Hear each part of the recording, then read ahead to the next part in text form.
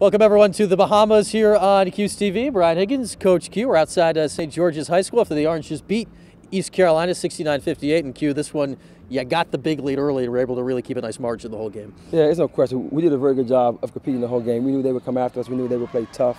They would get out and press us, and we just did a very good job of controlling tempo, getting getting getting good shots, and, and, our defense was very good. The main thing when you're playing a Preston team like this, I mean, you were working on it in practice. You beat it in practice the last couple days, and it, it looked like when you beat it early in the game, it took the Pirates completely out of what they do. There's no question. When you when you when you beat pressure, you, you have to attack on the back end, and we did a very good job of just continuing to, to, to, to, put pressure on their on their second line, their press, and, and attack the rim. And you get a team like that that averages about 77 points a game, and, you keep them down in the 50s, and you did an excellent job on defense also. You knew you were going to get some open early threes. You got them for Brianna Butler, which is a, a, double good thing. She makes three for you early. Really got it going. Well, whenever whenever she scores the ball, we know we can get three other players in, in double figures. So she did a very good job of making shots early.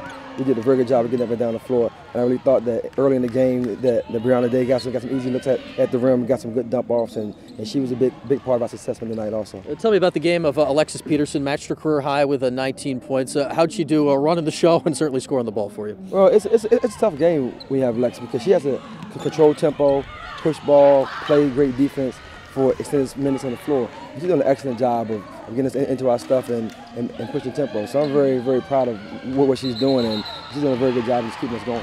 Before we turn our attention to Briana Day herself, what do you think about uh, Briana's game here today? I thought Briana was great today. She, she did a very good job on the, on the glass for us early in the game. She got some got some got some easy baskets and got us got us really broke the game open for us and she's she's been doing an excellent job night in night out for us. So hopefully we can we can continue keep this going throughout the season. All right, Q, congratulations. We'll see you tomorrow. Let's turn now to Briana Day. Briana, 13 points. 10 rebounds. You really had to go on it going inside today. What was this matchup like, and what allowed you guys to get out to that early lead?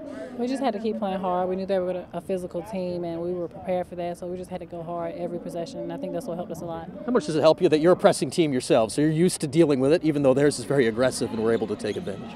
Uh, we're, we're used to it because, I mean, we do it ourselves. We just had to keep calm, like play our game, not let them take us out of our element. I think we did a really good job of that. What were you thinking when you see your classmate Alexis Peterson really get going like she did? Yeah, I know I know it's in her. Like she she can do that every game if she wants to. So I know she can do it. So I'm not surprised. I'm very proud of her she really worked hard, scoring the ball, running the team. So I'm proud of her.